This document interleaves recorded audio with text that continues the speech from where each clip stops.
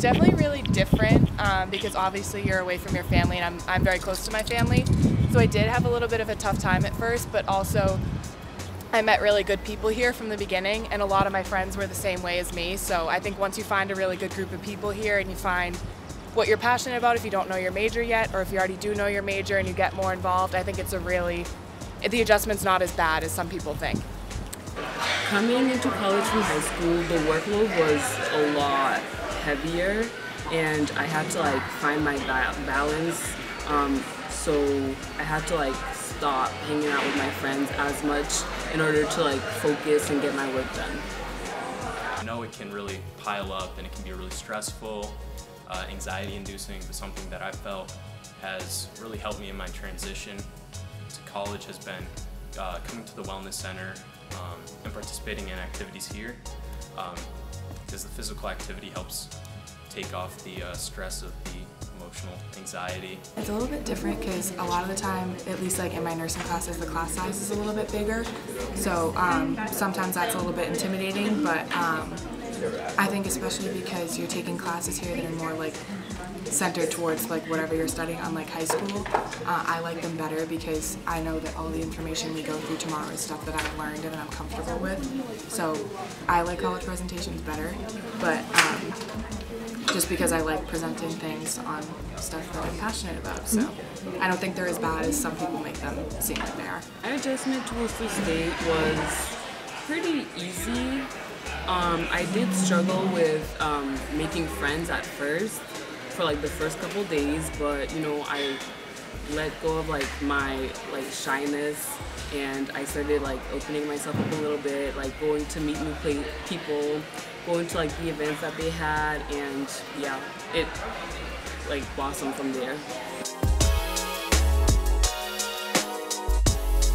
After lunch, I like to go to the library. I think it's a really good place to get a lot of work done because I know if I go to my room, I'm gonna want to go to sleep. So um, a lot of the time I meet friends there or I do homework on my own and it's really good because it's really quiet and there's also a quiet floor if you don't feel that it's quiet enough. This is the living area where like sometimes I hang out with my friends or I really like doing homework on the couches because they're just really comfortable and like doing homework in your room isn't really ideal because that's like you know like your comfort space so doing homework out here is really you know beneficial for me.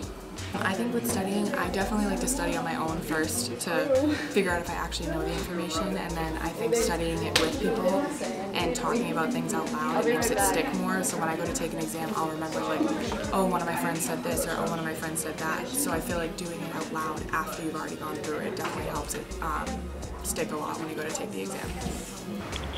Okay, so now after I got some studying done, I'm going to head to my stats class and it's in Sullivan. Classes are harder in college because you actually have to put your time and effort and you know review. Um, one thing I do is I write my notes out after we're like done with the chapter. I rewrite my notes and go over it before the test and I think it really helps me. I also do go to tutoring um, if I need extra help in order to like understand the topic better. I think college classes are definitely more work outside of class than in class. Um, and it's really good because you can make your schedule so that if you don't want to have a Friday class because you want to go home or you don't want to have a Tuesday class because it's the middle of the week, you can usually try to make your schedule like that. Um, so I like them better. Um, and also I like to, you know, study on my own and like do things like that on my own. So I like that it's more independent out of class. I like to get to class early because um, I can have like a couple extra minutes talk to my friend and you know get settled in for a little bit.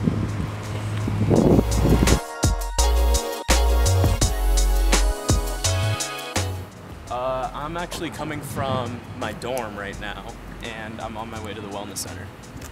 My favorite part about the Wellness Center has to be uh, the multi-purpose gym. That's where I go to play basketball.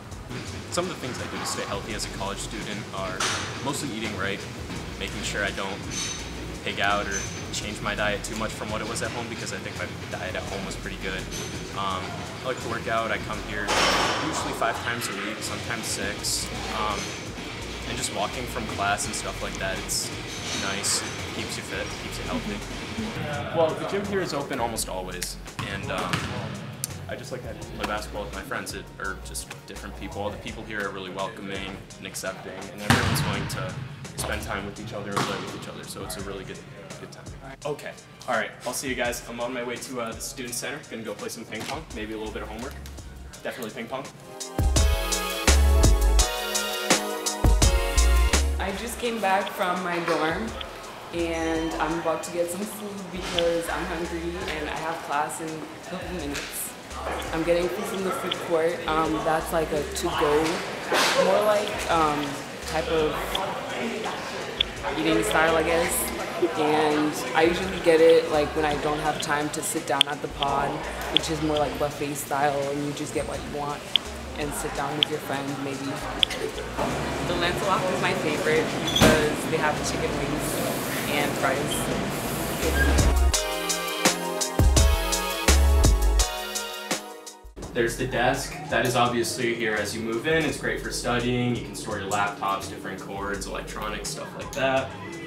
And we move over here to the spread, okay? Um, provided it is fairly comfortable, but I would definitely recommend getting a, uh, a bed pad.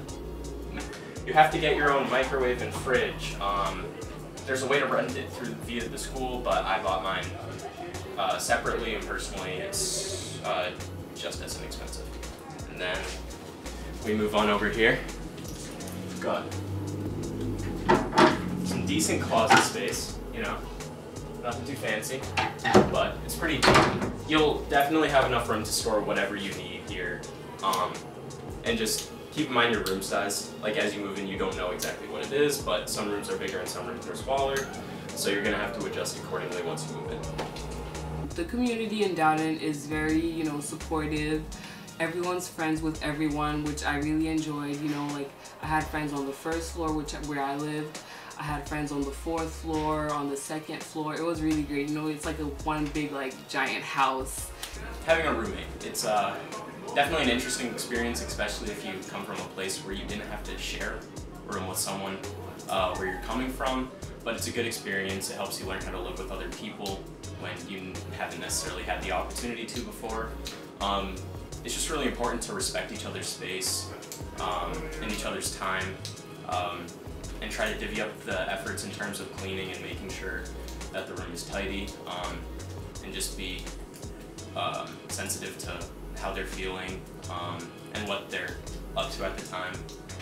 The bathroom situation is really not that bad.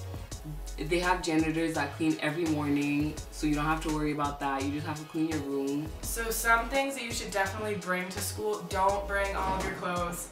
I still do it every time I move in and I regret it every single time because then when I go to move out, I have to move out in like three shifts because I brought so many clothes. One tip that you need is bringing a fan, especially during the summer or like the early move-in date in September. It gets really hot. Really important tip is to have a shower caddy. Uh, just bring your essentials to the bathroom so that you don't lose anything. One thing you're going to want to make sure you have is your keys and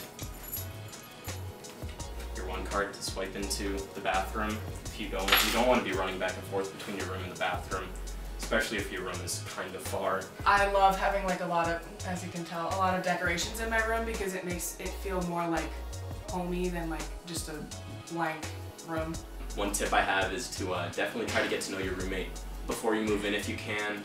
I love hanging my pictures of my family so I can like remind them that I have, remind myself that I have my friends and my family as a support system.